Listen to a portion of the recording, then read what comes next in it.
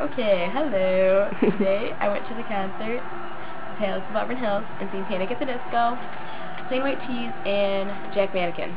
And while we were in this beautiful Holiday Inn,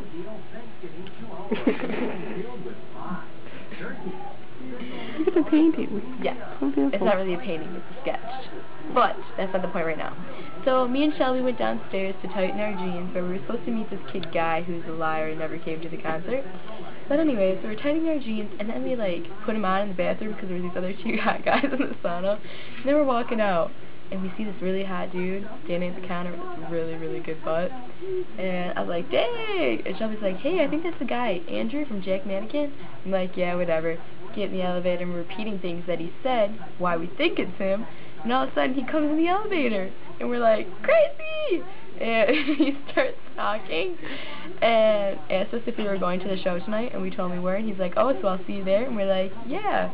And now we've been stalking him pretty much around this whole hotel, hotel trying to like find him and stuff, but we can't, and the people probably think we're insane. But I also got to talk to Zach again tonight, because Fall Boy didn't come out, I mean, Panic didn't come out. Now who's they?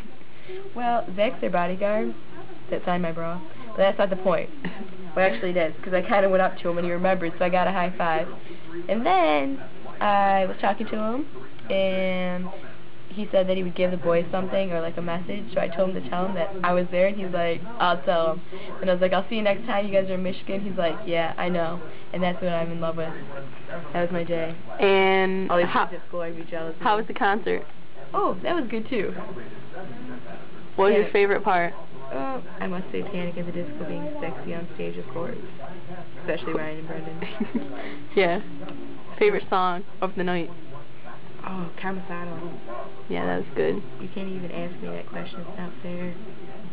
That's What was song. what was the biggest surprise of the night? Them playing with trash cans. Yes, I know. Ryan and John, they got some skills. And